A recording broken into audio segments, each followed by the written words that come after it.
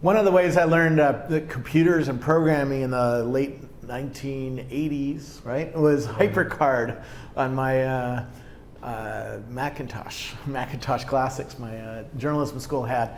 And uh, it was both a freeing environment. It let you do a lot of stuff, a lot of multimedia, a lot of nonlinear kinds of um, trans transference of information. But that was its marketing problem too. It did a lot, and nobody could really define who it was for and what it did. And so we're going to talk to a new company that has something even more mind blowing for the new iPad uh, called Infinite Canvas. And we're going to dig in and see if they have the same uh, promise and problems.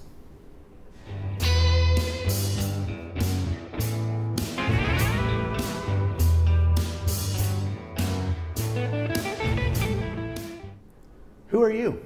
My name is Katelyn Lyster, and I am the co-founder and content evangelist for Infinite Canvas.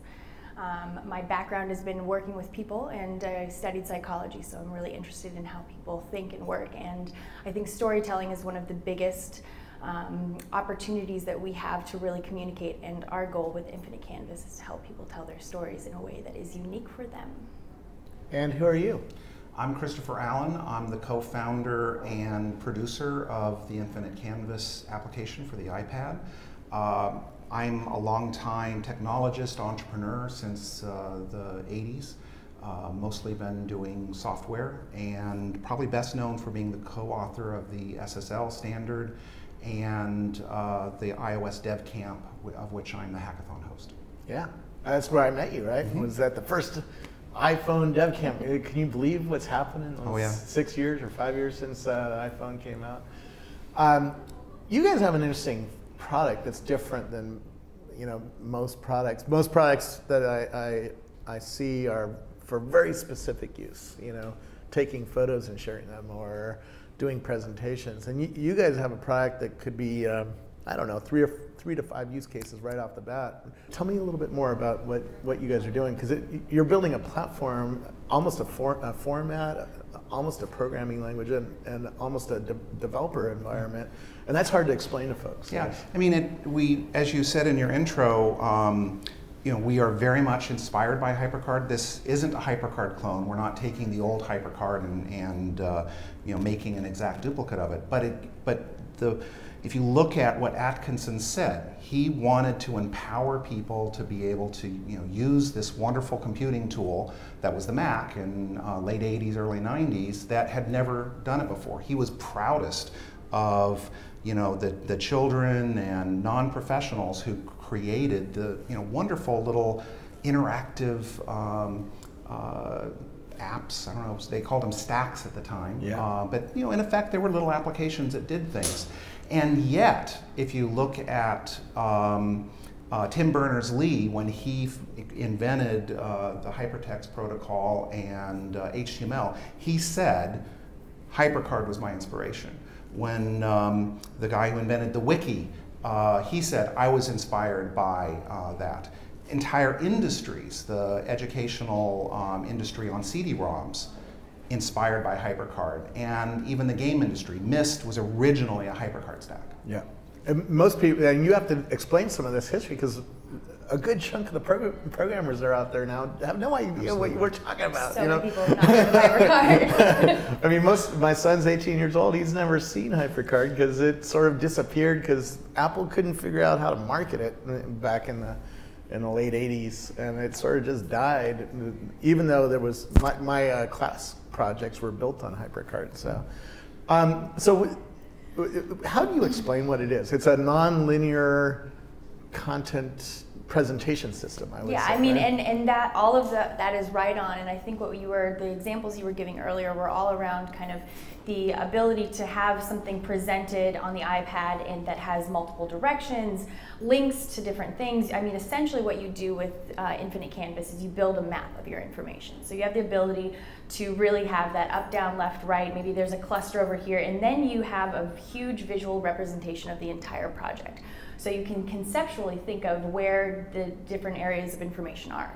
Um, and, and these building blocks sort of look like slides and yeah, they're like they're tiles, right? and so similar to a, a PowerPoint or a Keynote is something where you input information onto a tile, and then rather than it being a linear output, you have a blank canvas that you can drag and drop and arrange and build this map of whatever it, it makes sense to the information you're trying to convey. So at a simple level, it would be slide, uh, slide one or, or tile one, tile two, tile three, tile four.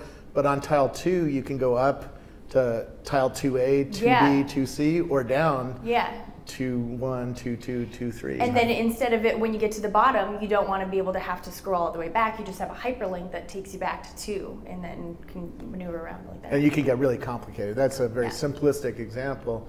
But th- th- this holds uh, stuff that's very graphical, right? So a comic book or a, um, I mean, something that was graphically designed with a, u- u- a raw user interface, right? Yeah, it's very much um, in the you know family of an ebook creator. I mean, you're creating an object that you can share that is you know has a variety of uh, information in it, but it is very uh, visual centric, uh, as HyperCard was. Um, yes, you can put text. You could do an ebook. Um, you could uh, you know. Uh, have a nonlinear ebook with it, but it's really optimized for graphics and images, and that's because it's on the iPad. We do a lot of things in some very specific ways because it's a tablet. So we see uh, eventually this being on other tablets, being on. Um, the iPhone or even Yeah. on the web, but I think we started with the tablet because it has the largest psychomotor connection. So you have the really the ability to swipe through, to go up and down, to maneuver with the content.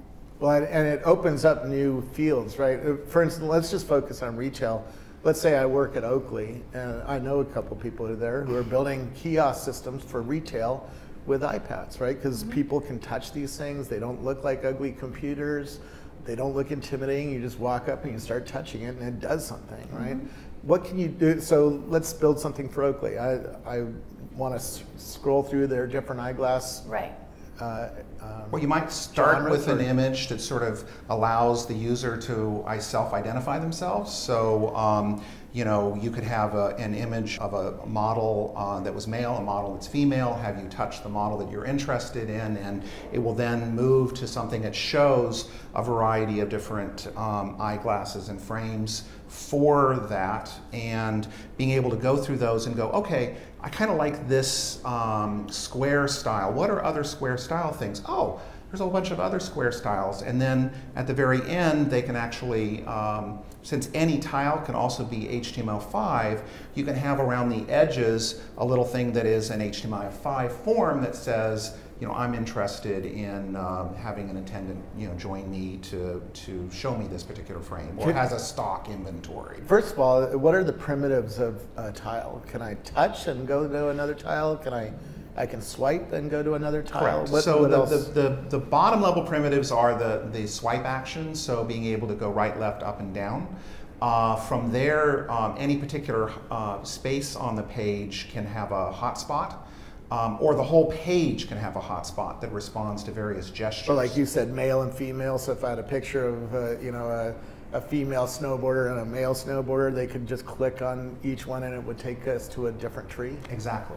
Okay. And um, you also have the ability to um, trap other kinds of events. There's the uh, uh, tap and hold. So if you want more information, you can set it when they hold down their finger, something will pop up. Uh, you can you know, have it when you enter the tile, some music plays, or when you tap a button, some music plays. Um, the music can be playing in the Or background voice. or in the foreground. Or voice, so that I can have a virtual salesperson, Right. you know, helping me out and go, hey, you know, you should And check this right out. now, we have the ability that you can add the button and you just record a sound on the iPad directly. So it can be tailored to exactly the, um, the day or the specific event that you're doing. And you can do, uh, on page load, can you do things like play a video?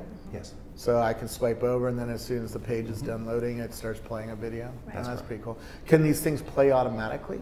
And so if you just leave it alone, does it just start playing Um, we don't have that feature now. We've had some requests for it. The, the thing that we've, we've always been trying to be very careful and not um, um, overcommit ourselves to a specific direction until we know what people really want. But for a retail, you would at least want it to, after a minute of non-activity, maybe pop back to the hot, hot um, home screen. Right. Uh, Can you do that? Yes, that you can do. The um, I think the the interesting you know challenge is that you know we want to be able to have multiple paths. Um, so uh, I want we want to be careful and not force people into something that is linear in something that is essentially a nonlinear medium. Yeah. That being said, you know there's been some interest by people to say, okay, you know here is the um, I'm, you know, I'm showing this to a marketer path, or the, I'm showing this to a technologist path. Um, I'm showing this to you know, um, a uh, finance person. Um, And literally, the, the product has the ability to move those tiles around and make a new presentation based on you know an audience, which is uh, I think an important part of this is that it automatically can be matched to the audience. Uh, You said I can use HTML5 on this, Correct. right? So I, can I do payment systems on this and Correct. hook it up to Square and all that fun stuff? That is correct. Oh, wow. So basically, um, uh, when you're creating a canvas, any tile can either be a basic tile, which is basically images that have layers and buttons and interactivity, but then sometimes that's not enough. And in that particular case, you can put an HTML5 tile in, and you can do everything that you can do with HTML5 except one thing, which is scrolling. So you're typically design it for that one particular uh, page. So it's a no scroll bar uh, interface. correct. And I probably could put a chat room in there so I could have a virtual assistant, you know, somewhere else. Hey, you know, Yeah. because if you're uh, building this for an Apple store, for instance, they, they have thousands or hundreds of stores, and so they could have a central call center that's watching all of these. And if somebody has a question, they can have somebody virtually. I mean, at Rackspace we have that, Yeah. right? When you come down to Rackspace.com, there's a chat. A, a person 24 hours a day watching, or a group of people watching that homepage, and if anybody has a question, they answer back. Right, and as long as it works for um, um, mobile WebKit, uh, then it will work here. Let's say I was Oakley. How do I pay for this, and what's what's the fee? Um, the basic app is free to, to be able to view it. Um, at some point, we may charge a dollar for the basic app. The authoring is an in-app upgrade, uh, and it depends on what features you want. Right now, Let's say I want them all. You want them all? um, the, we're anticipating that you know in the twenty dollar range for the basic uh, authoring. This is really going to put Oakley out. They're all gonna put so twenty dollars, and I can build whatever I want. Right. The now Oakley in particular may want some special features. So we have um, a kiosk uh, version of the code that they can license that basically locks out the other parts. You can't uh, turns off the home button. Uh, you know, does all the different things that um, they may need uh, for their specific needs. Um, they also might want to create a special version of it that has an Oakley icon and such, and put it on the App Store themselves as a free little app that uh, uh, that people can use. We charge for that. Okay. So that's a custom call. If you want to do that, you just Correct. call you guys up or Yeah. email and get Yeah, get we're going to be doing white label services for a variety of different industries and companies. Very cool. So let's uh, riff on this. Uh, let's go into like a science lab, you know, where I'm building a, uh, a, a science exhibit. Um, can we do weird, you know, spinning molecules and stuff like that? I guess you would have to learn some HTML5 to bring in some um, some graphics that are spinnable. Uh, uh, tell tell me lo- how crazy we can get Well, with this. Basically, Apple has something called um, a widget, which is part of um, their uh, uh, capability to be able to um, add all the, all the different functionality you've seen in iBooks authoring, where you can have molecules moving around. All of those different things are widgets. Those are written in JavaScript. Um, so pretty much anything that you see in an iBooks author composer can also be put into an infinite canvas as a tile. So what, what else can we do? Let, just stick with the science class. Can I have a periodic table and then I can click on each on each individual of the hot thing? buttons. I mean, essentially, you have How would I make that work?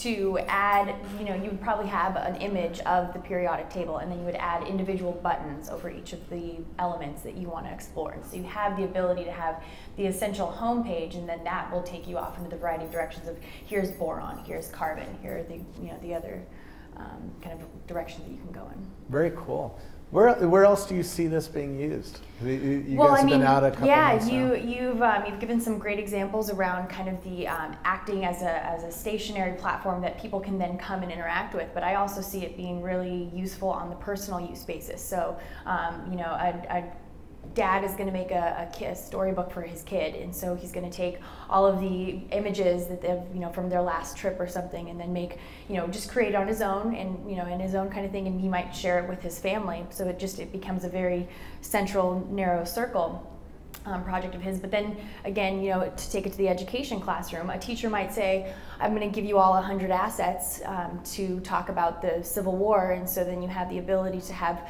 30 different interpretations of the same project. So let's say I'm a teacher and I want to create a, a, a what, Infinite what- canvas? Infinite canvas of the Civil War. How do I distribute that to 30 kids who all have iPads? Dropbox. Right now, we have the ability to use cloud synchronization with Dropbox, and so a, a teacher would say, "I'm going to put this all in a Dropbox folder. Everybody has the access to the same uh, assets. They all download it directly onto their iPad. Then they start creating tiles, and then they have, you know, so everybody has the same 100 tiles. Now it's up to each individual kid to say, you know, maybe we might start with this spine of the history and the, you know, the weapons or the, you know, the outcomes and different kind of uh, categories, but then they might be able to branch off or link something, you know, that you might think was totally unrelated, but that really actually has a, you know, a unique component or connection to it. So there, there's uh, a creation mode of this, Yeah, and then a authoring. runtime mode, or a Yeah, so mode? there, there's both the viewer and the author. Okay. And, is it um, all one thing, or is right it two now, separate yeah. apps? Right now, we, we started initially with releasing the viewer, and we just found that um, people wanted to be able to author right right away. And so right now, people can author for free. I mean, when uh, when they download the app, about 12 tiles. So you can kind of get that feel of playing around, creating tiles, starting to have the multiple directions, and then um, the in-app upgrade will allow you unlimited tiles and um, kind of. A- As a creator, can I lock people out of it, out of messing with it, or is that al- is it always sort of open source where the the people re- viewing the the uh, infinite canvas can mess with it and change it? Yeah, no. It, it So we don't, we don't, we don't have digital rights management in it. On the other hand, we have very explicit support for licenses. So you can choose, um, you know, all the Creative Creative Commons Commons. licenses, the, uh, you know, public domain, or all rights reserved. So uh, the app, if you um, uh, get a, uh, uh, Creative Commons, uh, you know, open license from somebody, Canvas, uh, we will allow you to open it up and look inside and be able to reuse the things, and we'll even help you, you know, give proper credit to that person. On the other hand, if it's a all rights reserved, we won't we won't let you open it. Well, you can see uh, this this has some depth to it, and you need to play with it and stuff like that, and it, it goes beyond what, what we can do in a few short minutes here. Um, real quickly, how are you guys funded, and, and Um, where I've are you been- taking the business of this? I've been funding this um, out of, uh, you know, from my other entrepreneurial ventures as a side project and got really serious about it this year. And uh, we are now looking for seed investors to help take us to the next level. Very cool. And Yeah. where do we learn more about it? Uh, you can go to www.infinitecanvasapp.com. Very cool. It's really cool. I'm going to play with it a lot because Cool. I do presentations and we do, you know, my kids do these kinds of projects that need a nonlinear thing. And we've been playing with Prezi and different ebook reader, ebook technologies, but they just don't do what you guys do. So thanks for bringing this out. It's really cool. Thank you. Thanks. Thank you.